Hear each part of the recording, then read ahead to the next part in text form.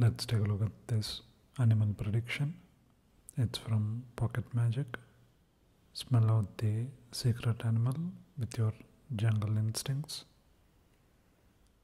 Costs around uh, 45 rupees or uh, 80 cents or so. A small cube has six different animals on its side.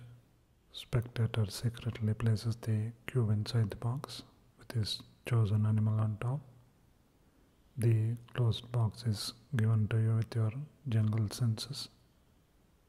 You can name the chosen animal just by smelling the box.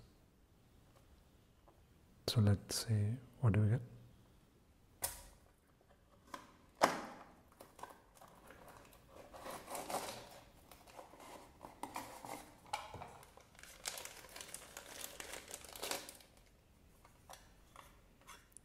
That's the dice. It's a paper dice.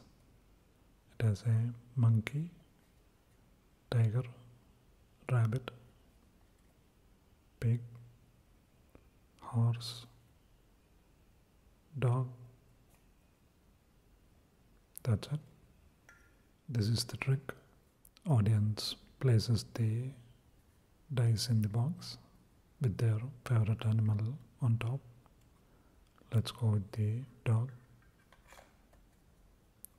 He covers it and gives it to the magician with both his hands, puts it behind his back, and removes the cover and puts it like this.